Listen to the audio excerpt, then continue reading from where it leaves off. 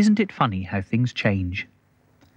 There was a time when the rural pursuits of hunting, shooting, and fishing were accepted without question as a part of the British way of life.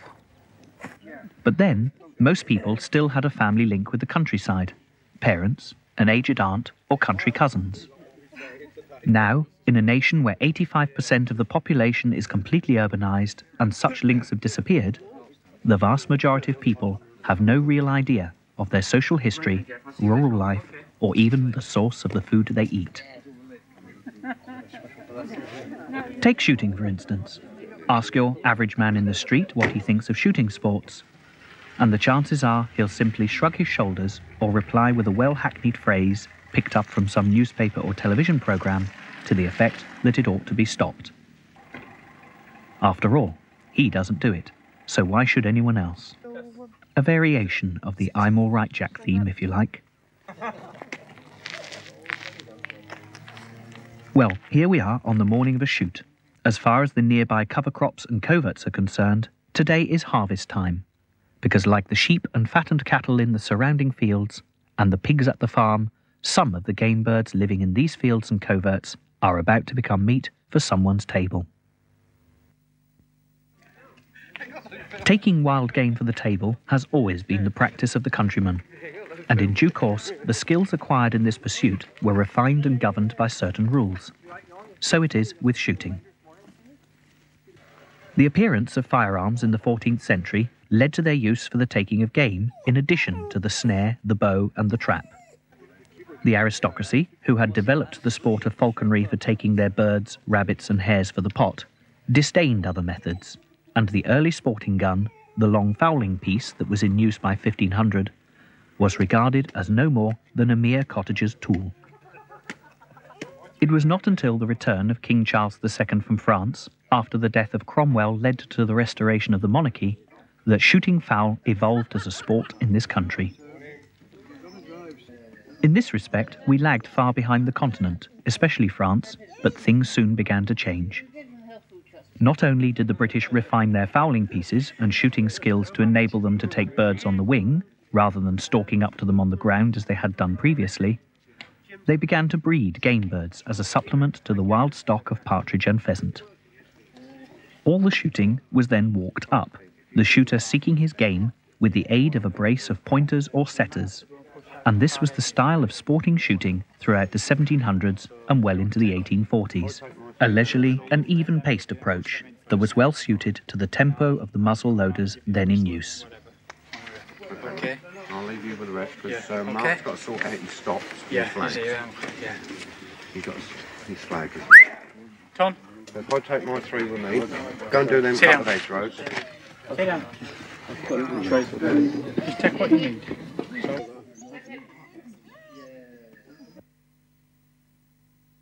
The guns may have changed since those times, but there remains a certain formality of dress and demeanour that has lingered on from those punctilious times. Like the keeper and his beaters, the guests are also expected to be up early and to arrive punctually. This is not due to any anachronistic sense of ceremony. The host and his staff have gone to a great deal of trouble in organising the day, and the least the guests can do is arrive in good time. In these days of motorised transport and instant foods, it is perhaps easy to forget that the pace of this day is governed by the natural rhythm of sunrise and sunset.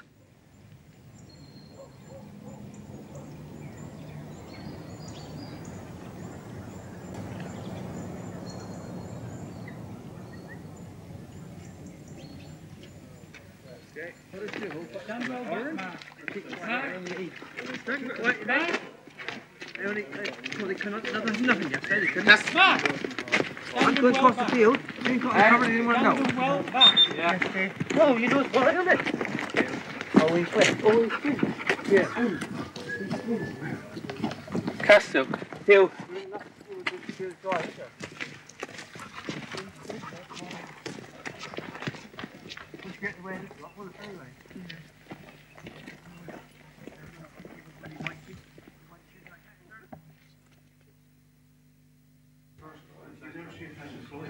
Hill. They finished Lloyd. They finished Lloyd and they were. Mm. Bob Bailey. So one of you, Mike Russell. Mike Russell. Yeah. Andy Bailey. Water Miles, mate. The owner. After introductions, it is time to draw lots for position. Each shooter will be assigned a number for the peg marking his position on the various drives. There will be three drives today, two in the morning and one in the afternoon. Numbers? Two up every time, please. Six. While the peg numbers are being drawn, it is traditional to serve sloe gin, although perhaps drinking and shooting should be mutually exclusive activities. Just check that this foot of the weather everything's turned on. Yeah. Pegs allocated, and those shooters who felt in need of a warming sloe gin provided for, it is time to join the keeper and his staff out on the estate, and the party make their way to the first drive of the day.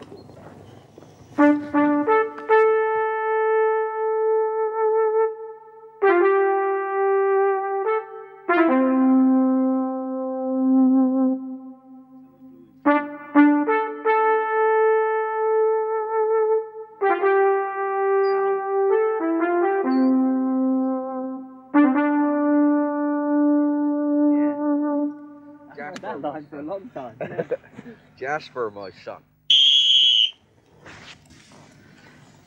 All right, nice and steady.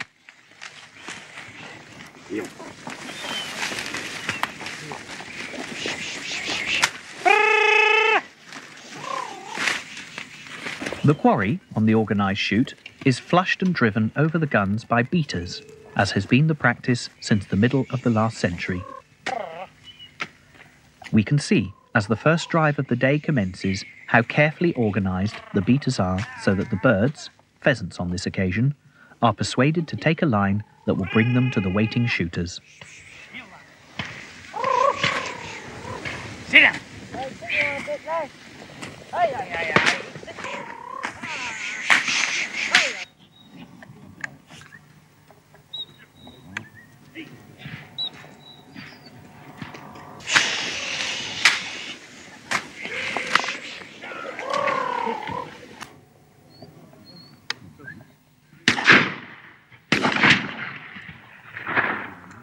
Up, up, up, up, up.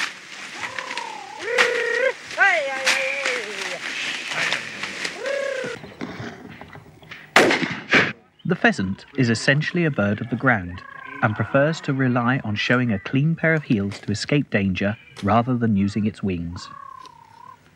Although it roosts in the comparative safety of trees, keeping well above the ground, it is probable that it has only learnt to do so to avoid predators. When roused, however, and given the chance to gain height, the pheasant is a fast and strong flyer over a short distance. You can see how a few seconds of vigorous flight is followed by a long glide, interspersed with short, rapid wing beats, as these birds are flushed out from this covert. The pheasant's fast climbing flight pattern is what the beaters must put to best advantage when driving the birds.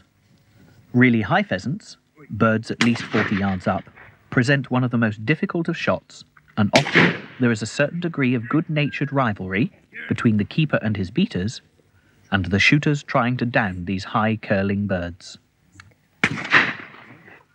Many a bird is anxiously watched by the keeper, who, as we see, can be awfully smug about those that escape to live another day. The essence of this sport is its very uncertainty. These birds have been bred for the table just as much as this year's lambs.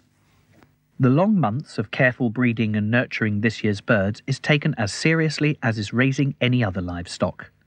The only difference is that these birds are not about to end their days in the slaughterhouse. As they claw their way up through the trees and fly high into the air, more than one pair of eyes is willing them to sail clear of the shot charge directed at them from below. This bird, as we can see, has clearly escaped the pot for now.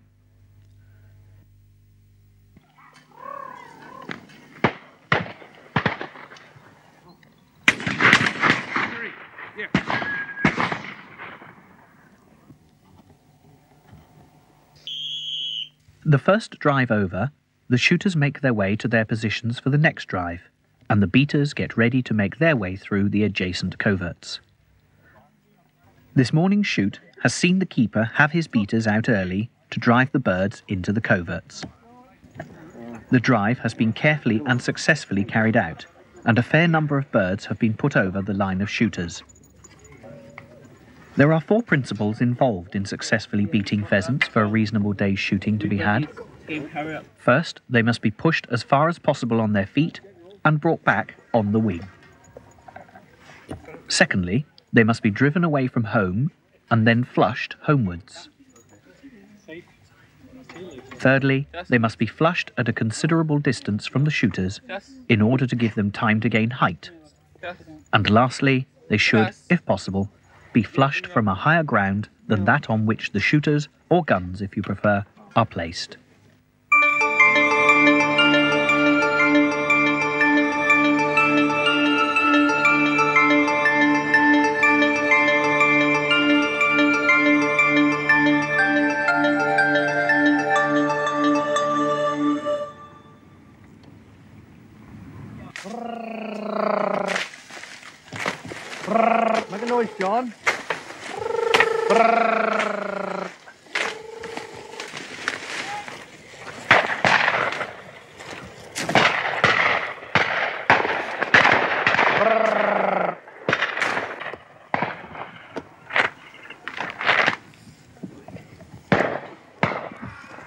As the drive commences, it can be seen how tightly some of these birds will sit, the beaters almost having to winkle them out one by one.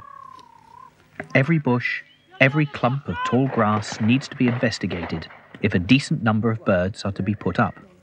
The real skill, though, is ensuring that birds flush in the right direction and at the right time.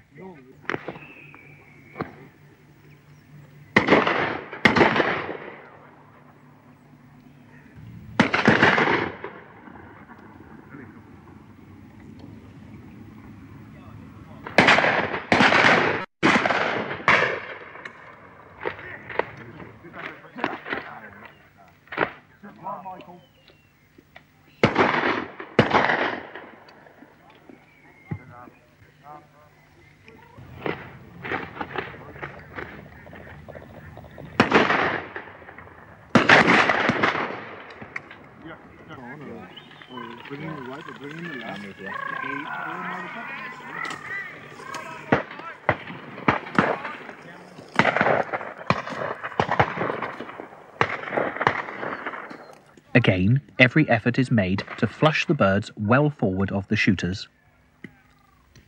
Done this way, not only will a reasonable number of birds be presented, but they will also be given a sporting chance of escaping the pot. The sport of shooting is not the killing of easy birds by indifferent shots, but of driving the birds over at a height and speed that makes them as difficult a target as possible. Now compare that with an animal going into the slaughterhouse.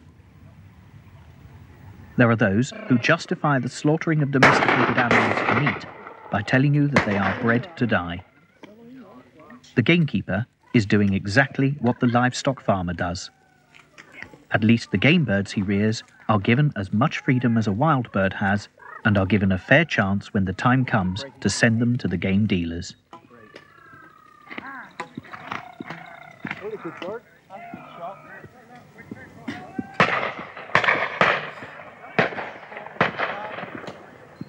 Good bird there, didn't he? Yeah, good bird that was.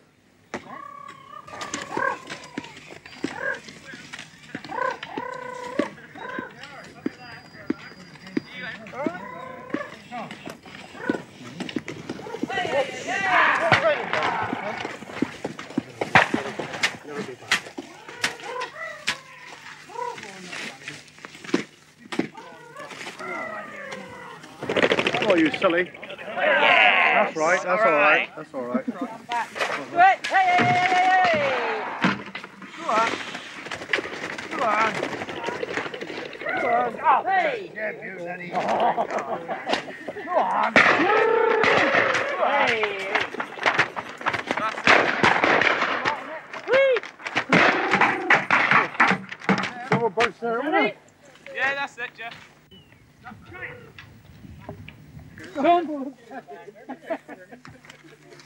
The second drive of the morning completed, it is time to go for lunch, while the disturbance caused by the morning shooting settles down again.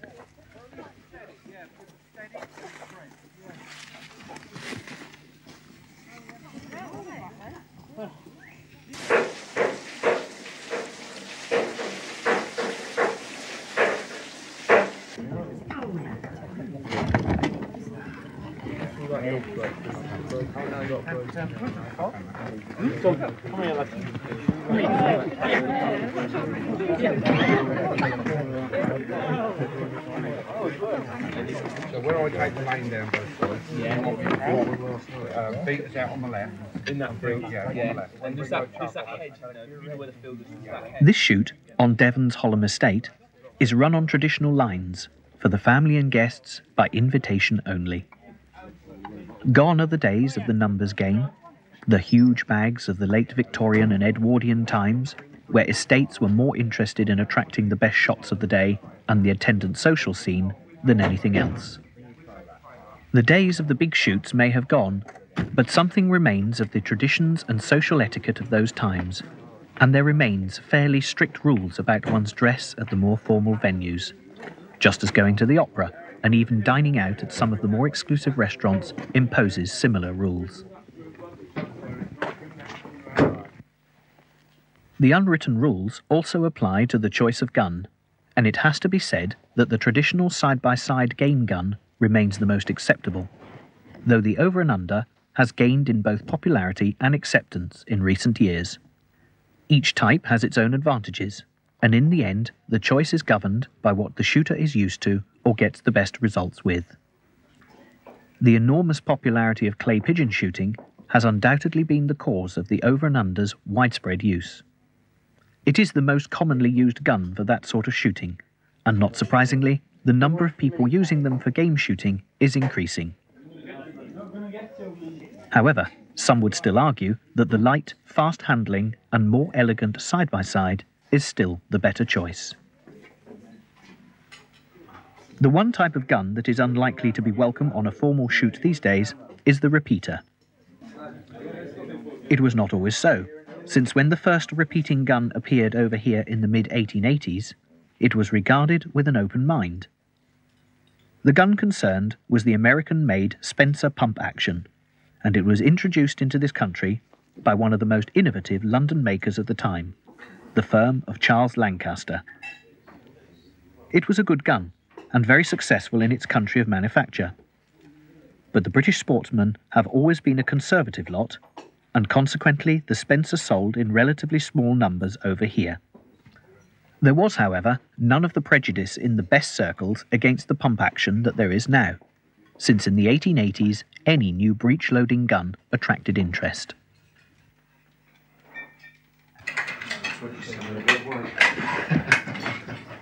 Good drives this one,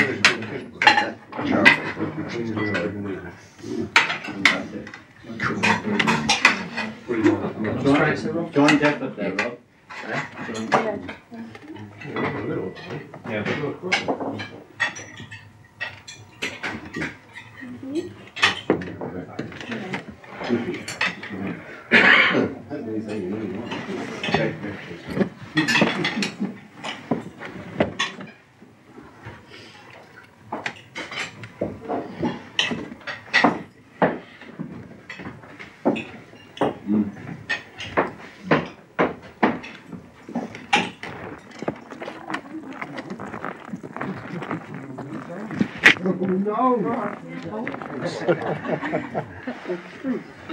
Ah, there you are, a bit, man.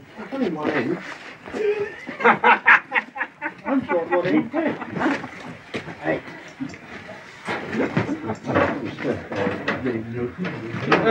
Make up the numbers. Any hands? No, no, no. Yeah, you got it in. Oh, I didn't cut through it.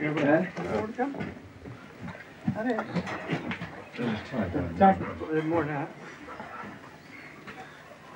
Oh, Joe's in the back, yeah, he's got some. Got to be more than that. It's not a lot more. There's there. Gonna take the guns. The big Land Rover. Yeah. Three Land Rover. Skin. Right.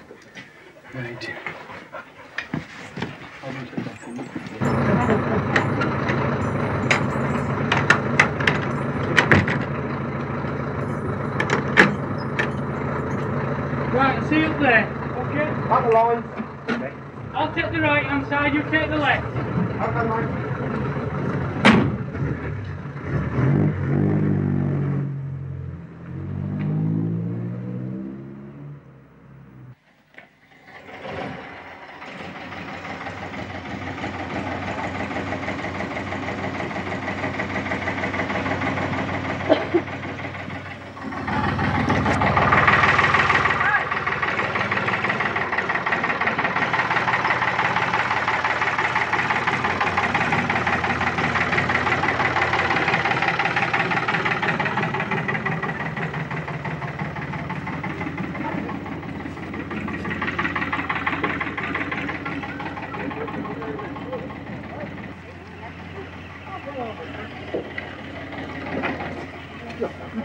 I stay behind and guess what's the. Just shows you height. Right, Tom. Right. Tom. Come here, lad. You want to lift that old timer?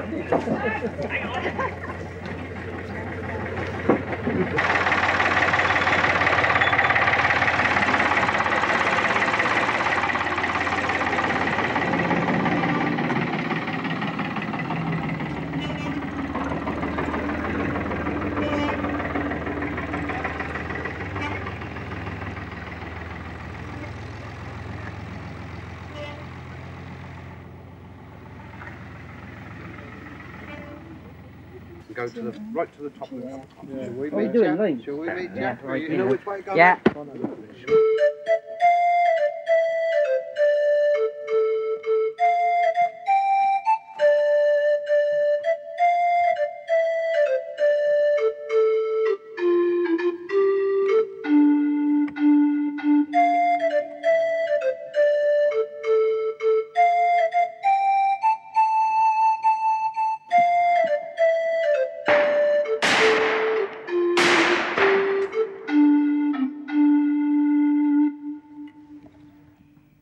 There are two things which attract people to shooting sports. Some may take it up because of social aspirations, or see it as a form of corporate entertainment. However, not so the genuine game shooter. The guns themselves are interesting, of course, and to appreciate them, one must have a fascination for mechanical things and an appreciation of quality, and history too, perhaps, since it is very noticeable that many game shooters have an interest in old guns and their associated paraphernalia. You may even see an old black powder hammer gun or even a muzzle loading gun brought out from time to time on the less formal occasions. The other attractions are, perhaps, less easily explained. The fun is certainly in hitting a difficult target, or trying to, and anyone who ever had a catapult as a child will have some sense of this. The antis would try and convince the world that the sportsman or woman simply enjoys killing, but that's about as wide of the mark as it is possible to get. No one enjoys killing an animal or bird any more than the slaughterman enjoys that part of his work. But there remains the fact that if you wish to eat meat, then something has to be killed to provide it. Some of those who shoot are as indifferent to their quarry as the housewife picking up a joint of meat in the supermarket is to the fate of the animal it came from, while others can feel a regret but may take consolation when the pheasant reappears as a delicious roast bird from the oven. Most people, one suspects, fall somewhere in between.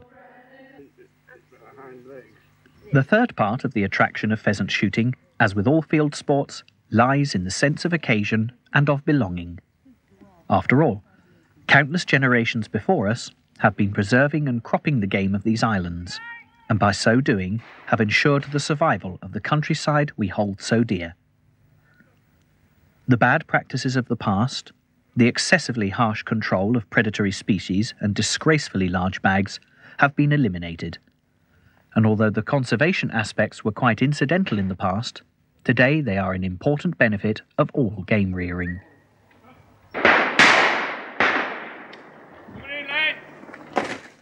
Today, private shoots such as this one are a tiny minority. Within the past 70 years, the shoot has changed greatly. Through the 19th century and well into this one, game shooting was almost entirely retained in private hands those of the aristocracy, the landed gentry, farmers, and their friends. And nowadays, this position is largely reversed. Groups of friends get together to absorb the cost of rearing the birds and forming shooting syndicates. In this case, the landowner or farmer will not necessarily be directly involved in the process, but the results are the same. Land is left alone to remain natural habitat, and some of the pressure is taken off the remaining land. The birds go to the game merchant or butcher to end up on the dining table. That was a good drive, wasn't it? That's a good drive. Fantastic, wasn't it? eh? Yeah.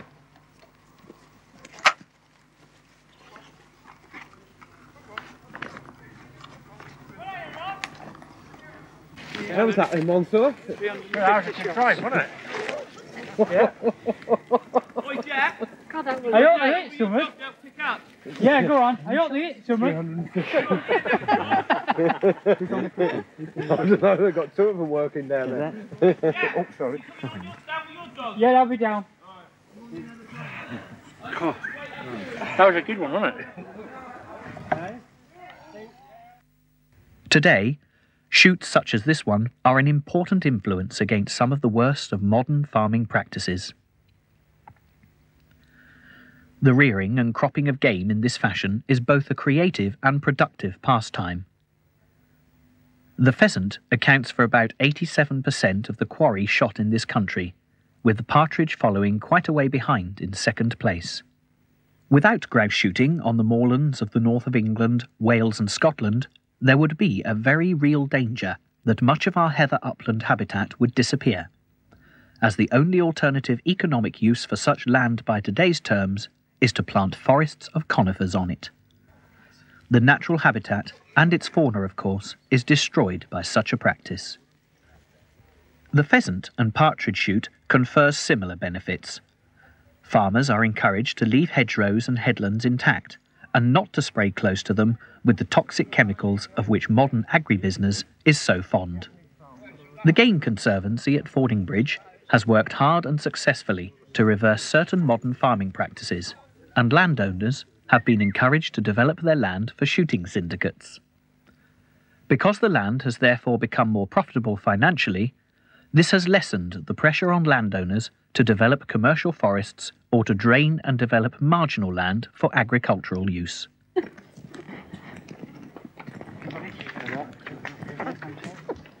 At the end of the day, the birds are collected together, and the shoot members and their guests make their way back to the house for the end of day spread. Beaters, keepers, and guns meet to discuss the day's shooting, and now is the time to tip the gamekeeper.